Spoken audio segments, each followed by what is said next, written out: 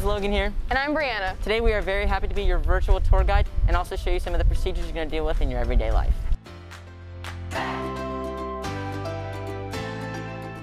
Welcome to the North Campus. A fun fact about the North Campus is that it was not always a part of the high school and it was once actually part of the middle school.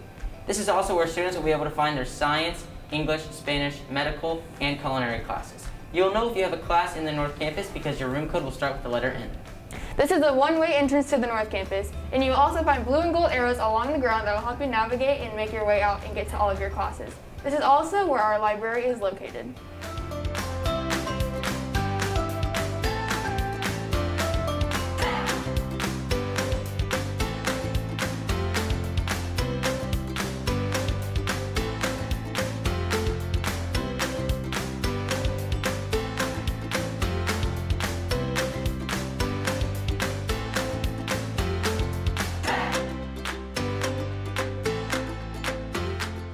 Also next to North Campus is the Fine Arts Building. It houses the auditorium and features the band, chorus, orchestra, dance, and theater programs.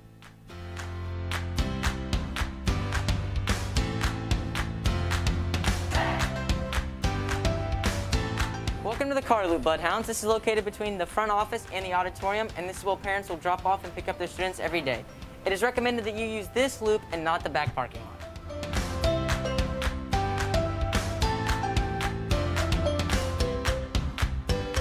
Next up is the Ag Building. Students, if you're taking agriculture this year, your building is located between the North Campus and the weightlifting room. If you have any questions, feel free to ask the administration on campus.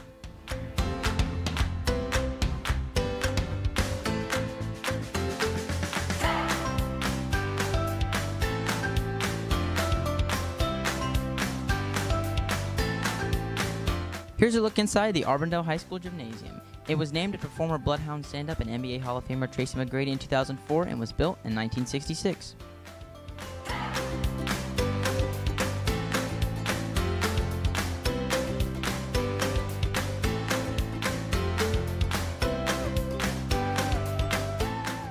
Welcome to the cafeteria, Bloodhounds. This is one of our personal favorite spots and also where you spend most of your time socializing with your friends. A change we've made this year is that we will have three lunches instead of the traditional two. You'll also only be allowed to sit four friends at each table this year. And while in line to get your lunch, you'll be spaced six feet apart. And if you weren't aware, breakfast and lunch are served free every single day at Auburndale High School.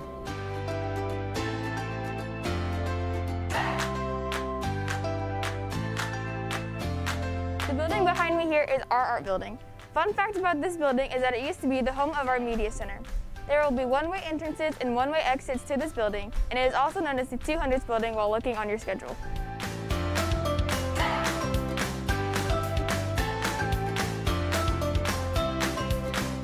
Right now you're taking a look at the 500s building, home of the Digital Graphics Academy. Students taking yearbook or digital design will report to their classes here.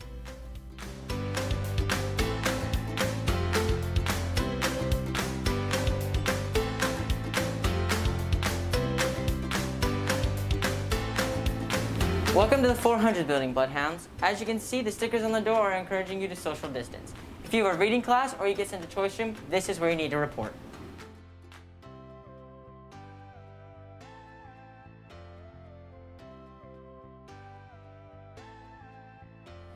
This is our 700s building, the only two-story building we have here on campus. Here in this building, you will find your history and math courses. Some extra details and expectations you should know is when you're transitioning in the hallway, it's a one-way traffic pattern and students will only enter on one end and exit on the other.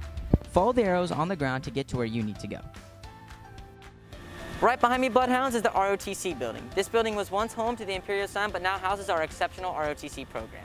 If you have ROTC on your schedule or are interested, this is where you need to be. Next up is the bus ramp. This is where you start and end most of your days here at Auburndale High School. One precaution we're taking this year is a staggered release schedule at the end of the day. So 9th and 12th graders will be released right before 10th and 11th. You can find your bus info on Student Portal. And if you have any questions, please feel free to call our front office or email any of our administrators, and I'm sure they're happy to help you. I'm Logan. And I'm Brianna. Have a great rest of your summer, and we'll see you around.